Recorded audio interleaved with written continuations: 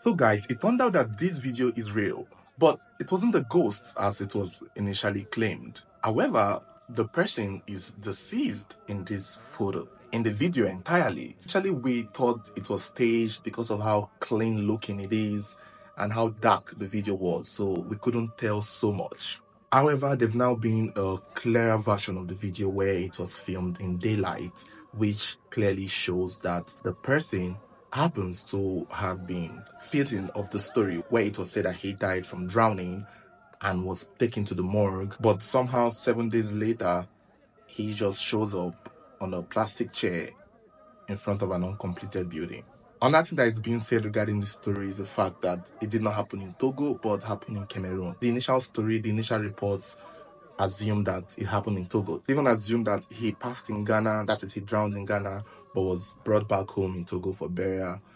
But now it's being said it happened, everything happened in Cameroon, that the young man passed in Cameroon.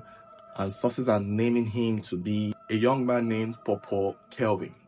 But the only problem is we don't know how he got here. We don't know how he got out of the morgue and how he ended up here. Nobody has that explanation. So this is where people are assuming that he got up and walked down here. This is a clearer version of the daytime where they believe that they were performing some kind of ritual, some kind of rites before they could take his body back.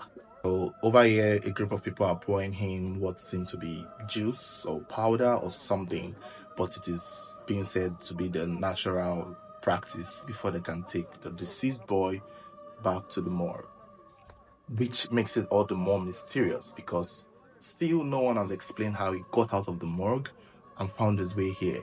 We still don't know the distance between the morgue and here. I sort of assumed people believe he got up and walked and found his way here. People believe he wandered. Remember, the story was he drowned in the river and he was taken to the morgue. And a lot of people are saying that naturally, when someone drowns in the river, he or she should be buried near the river. However, he, since he's not being buried near the river, his body is restless. That is some of the claims we heard online. I don't know what to make of it. It's beyond my expertise, but it's very interesting to see things happen like this and interesting to see how people choose to explain it.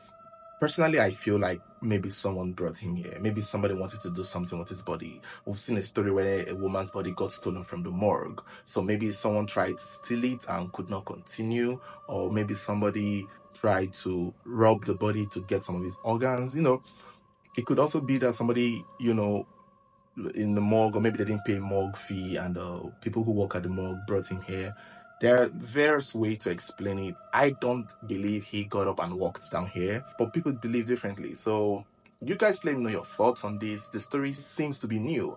Initially, I thought this was an old video of some sort. I didn't know it was happening in real time, literally in real time in this 2024 February. I thought this was some video from 2011 12 due to the quality of the initial one.